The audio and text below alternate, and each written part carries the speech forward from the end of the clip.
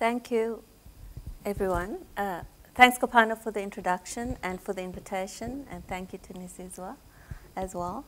Um, is this on? Loud enough? Yes? Okay. Uh,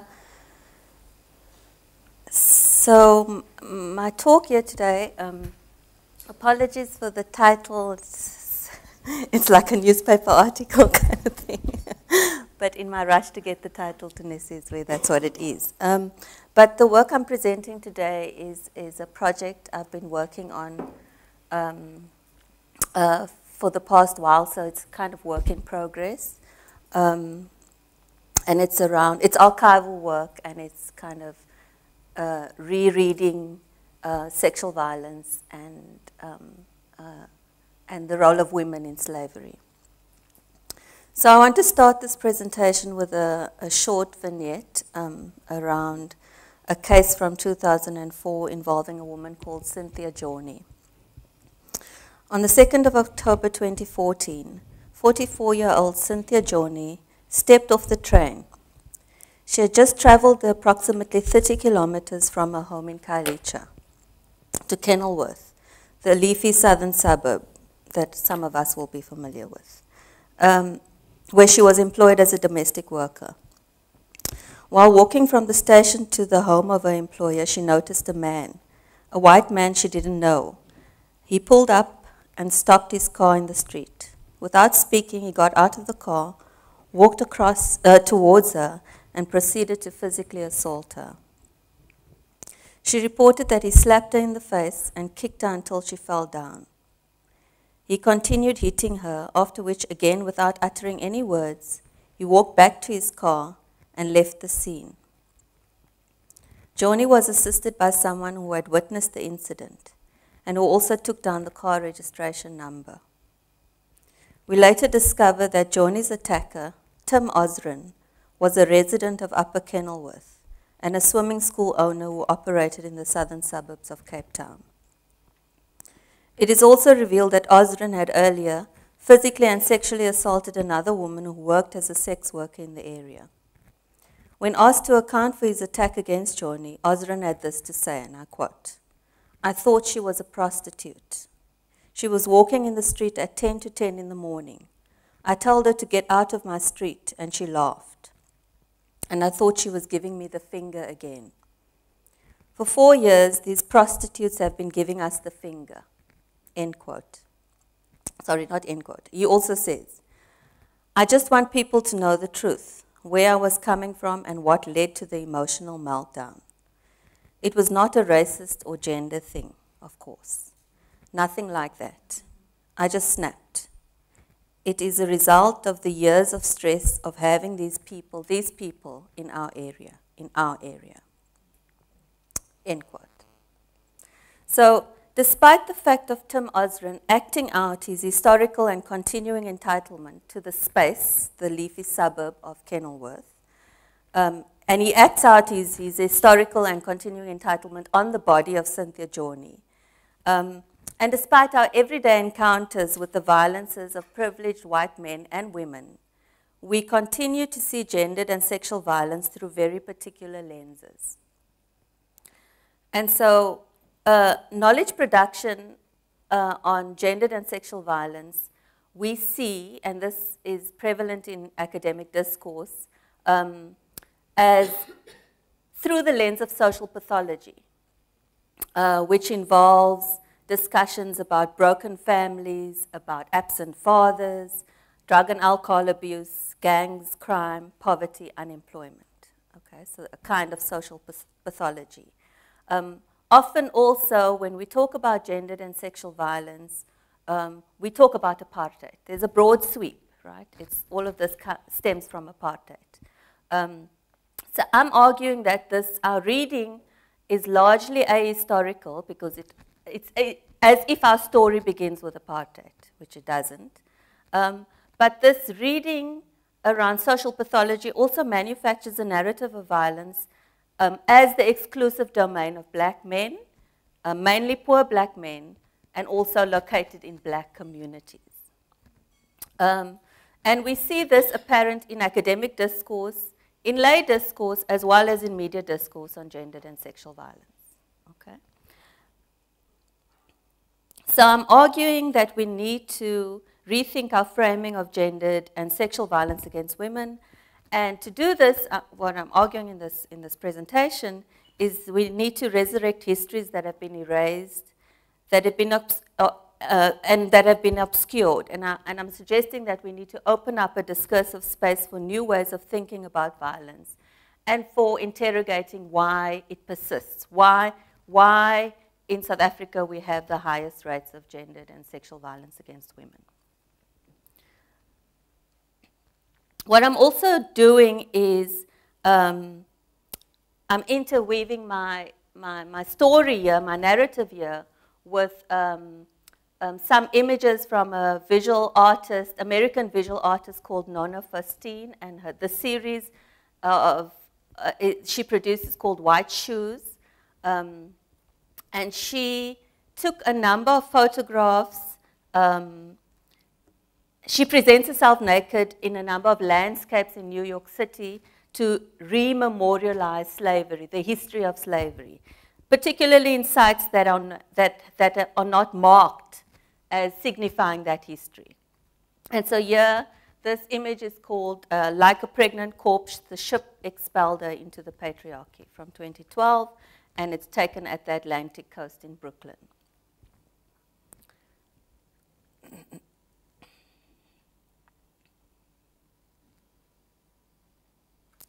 So I'm arguing that we need to rethink our framing of gendered and sexual violence against women. We need to resurrect histories that have been erased or obscured and to open up a new way for thinking. Sorry, I've said that already. And I think we need to address um, some silences. Um, we find that there's an absence of popular memory in our context on slavery what Pumla um, ascribes to the power of shame. I'll come back to this question of shame. The power of shame associated with the past and the success of 340 years of white supremacism and its physical and epistemic violences to suppress other histories, stories, and memories. So we see the silencing of talk around slavery. Um, and there's also, in, in the historical record, in historical work, there's also a silencing of the experiences of women uh, particularly enslaved women and indigenous women. Um, we also see a silencing of the ways in which sexual violence was central to the system of slavery. So in historical work that talks about slavery, there's very little mention of, um, of, um, of sexual violence, yet we know it was embedded in the system of slavery, encoded in the name given to enslaved people born at the Cape, the surname given, Van den Kaap. Okay, so, so there's this huge silencing of that experience too. I'm arguing that decolonizing our thinking about gendered violence involves working through the regimes of images of Africa and African people that was integral to white supremacy and the subjugation and enslavement of those deemed other. It involves working with the gendered, sexual, and racialized essentialisms that were embedded in colonialism and the enslavement of those who were deemed other.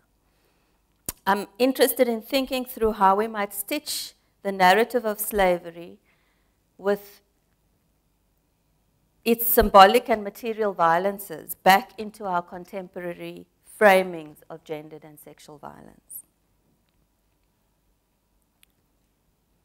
So I didn't, I didn't say why I think um, Faustine's, um, the series is so powerful. I think she powerfully yeah, um, she provides commentary on space, on race, on gender, and she uses her body to highlight uh, the vulnerability of, of the black female body in particular, but she also reads herself in relation to, she reads herself and her experience as a black woman in America in relation to historical uh, black women um, during, during the time of slavery. And very powerfully, I think, which is relevant for what I'm talking about, I think she provides some kind of commentary on the ghosts that, that, that remain in the contemporary moment. so what I'm going to be doing next is to provide some case studies or examples from my engagement with archival material uh, in trying to, uh, to resurrect some kind of history or some the, to reread the archive and to bring to the fore some of what's been obscured or erased. And the first is, um, so the two historians, uh, Worden and, and Groenewald, produced a, a, manuscript called The Trials of Slavery, um, and they transcribed a number of documents that had not quite been accessible to historians before from the criminal record. Um, and this manuscript is quite powerful in terms of what it shows or illustrates about the social, emotional lives of enslaved people um, as well as the context of slavery itself. And so, so, I've read this and I've drawn out some examples that talk about, um, about violence. So the first case is um, uh, Anthony van, van Gouw, who was accused in 17, 1721 of violently attacking Janneke, his wife. Although, as Kopano said earlier, slave marriages were illegal until 1823. Antoni had been separated from Janneke through being sold and later returned to the farm to see that she had taken another partner. He violently attacked her by stabbing her in the abdomen. Following this, he attempted suicide. the details of Janneke's injuries are described at length, as well as Antoni's motivations for the attack. From the record, however, we know nothing more of Janneke including whether or not she had survived the attack. Okay.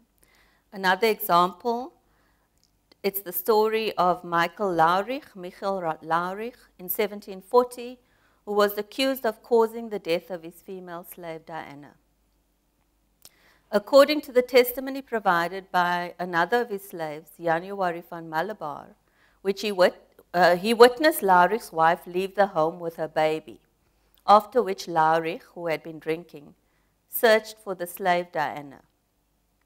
Upon finding her, he dragged her by the hair into the kitchen, where he ordered January to beat her with a sjambok. The beating continued for a while, with Diana running away twice, attempting to request help from a lodger who was sleeping in the front room of the house. Laurich, who ignored the brief intervention by the lodger, later tore off Diana's clothing and, when the same was totally naked, tied her hands and feet together with the rope and then beat her with a sjambok on her naked body, which lasted almost a whole hour. Excuse me. After the beating, while she lay on the floor, Laurich kicked her once or twice, muttering the words, Damn you, whore. These words and the indication that he had earlier had an argument with his wife provides some hint at Laurich's motivation for beating Diana. Of course, he also beat her because he could. Diana died the next morning. Laurich was banished from the Cape and sent back to the Netherlands as a useless subject. The, the third case, the last case I'm, I'm presenting here, is from 1749, um, where uh, Jan Lateghan ordered the the male slave Jan, uh, Julie van Bengalen to whip uh, the female slave Regina van Tanaten for absenteeism. It follows a similar script to the previous one, where he began the ordered beating of Regina on her buttocks with a sjambok. Lateghan later continued the beating, sending Yuli back to work in the garden. Some days later, Regina van Tanaten's body was found in the veld. He was fined for his murder of Regina, a common penalty for slaveholders who had been found to use excessive forms of punishment. So these records tell a story about the multiple forms of symbolic and material violence that had been enacted on women's bodies. Importantly, they reveal the literal manifestations of violence. What we can discern as well is while the extent of women's injuries are described in some detail, we know very little else about them and their lives as enslaved women. In some cases, uh, we don't even know whether they lived or died as a result of the violence. These individual cases of violence are, represent, are represented in the archive as colonial discourse that represents women in the most dehumanizing ways, in ways that continue to reinscribe the knowing of black women through their bodies. Black women enter the archive as what Gqola calls bodies of evidence, bodies that bear the marks of multiple violations. And I think it's something that Faustine um, in this image also comments on. She's, uh, it, it's taken at the cemetery, a, a Dutch pre-revolutionary cemetery in Brooklyn, where three slaves are buried among the early settlers, and it's called, Of My Body I Will Make Monuments in Your Honor. Okay, so, so from reading the archive, it's, um, and particularly looking at this question of sexual violence, um,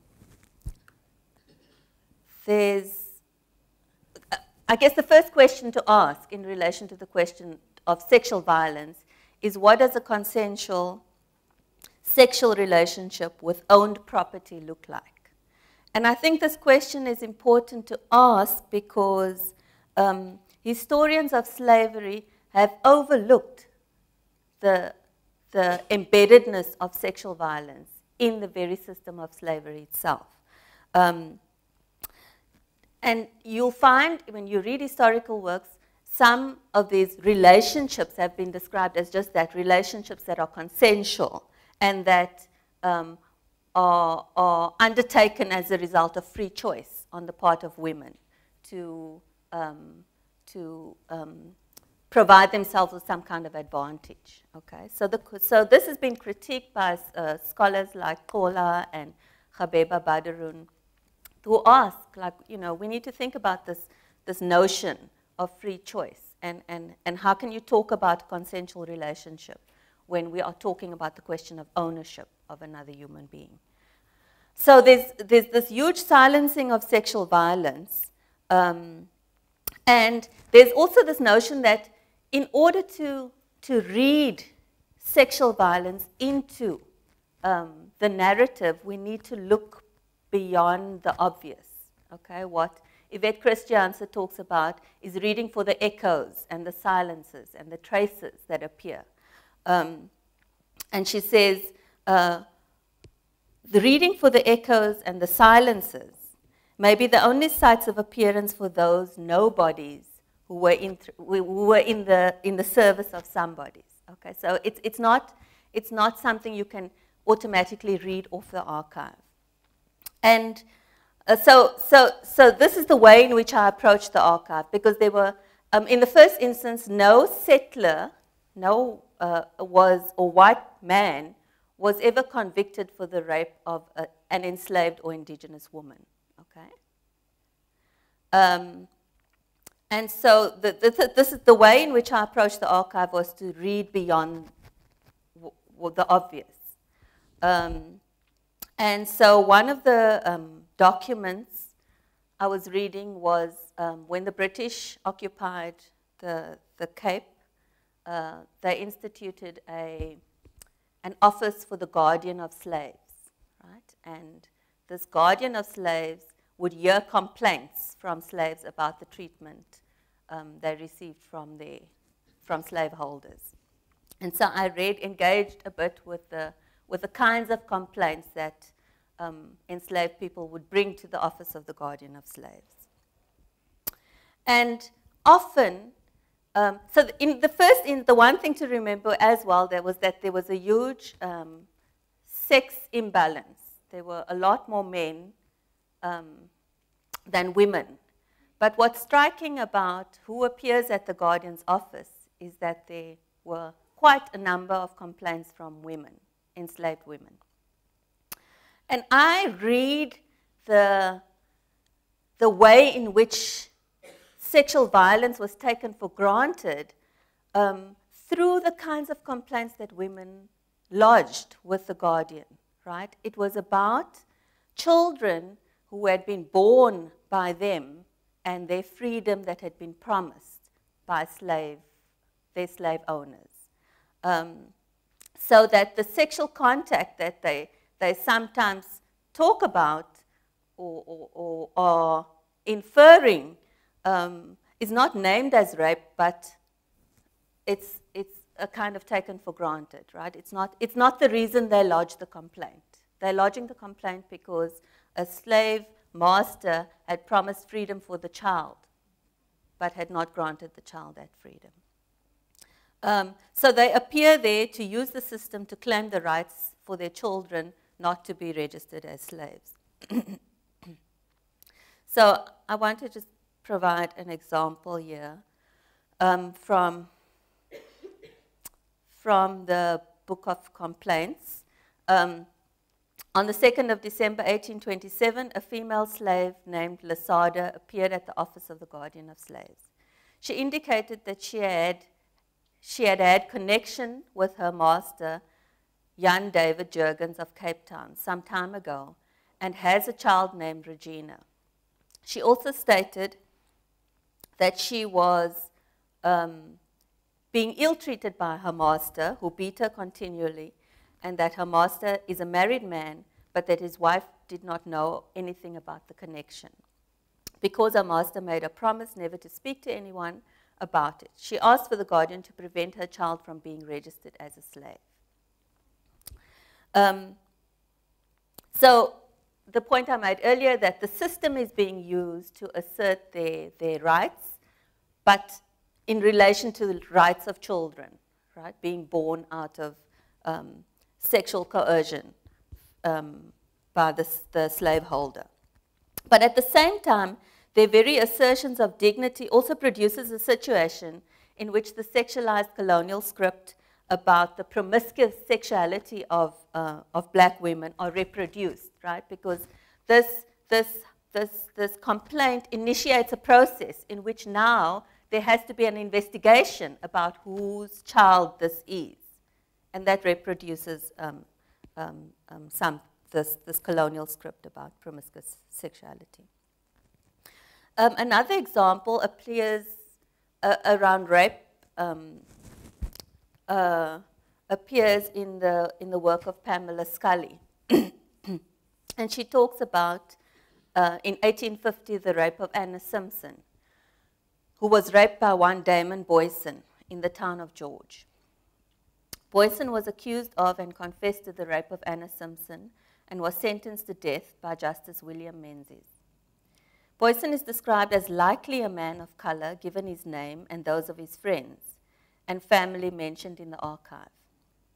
A few months later, the judge wrote to the governor of the Cape indicating that he had made a grave mistake in thinking that Anna Simpson was white. He had, subsequent to rendering his judgment, received a letter from respectable, and here you, you, you should read white, residents of George, indicating that she and her husband were bastard colored, is the term used to refer to the child of a slave father and Khoi mother, thereby calling her respectability into question. In another move that called Anna Simpson's respectability into question, the residents indicated that she had had prior voluntary connection with um, Damon Booysen. The judge subsequently commuted Booysen's sentence to a term of imprisonment and hard labor. So we can see here that notions of respectability, honor, status, imbued with colonial constructions of race, gender, and sexuality under slavery, worked to reinforce whose bodies matters and who, uh, mattered and whose didn't, which violations mattered and which didn't. Um, these notions determined how a rape case was dealt with, such that evidence of a prior experience of a sexual relationship with the accused was sufficient to repeal a sentence. This evidence, alongside the construction of Simpson as sexually illicit, given her identification as already sexually illicit, given that she's a black woman, was used as evidence to discredit sex her sexual honor and thereby her credibility as a victim. The rape of Anna Simpson and the ways in which it was read by those in authority has continuing relevance for us today, especially for contemporary narratives of rape in South Africa.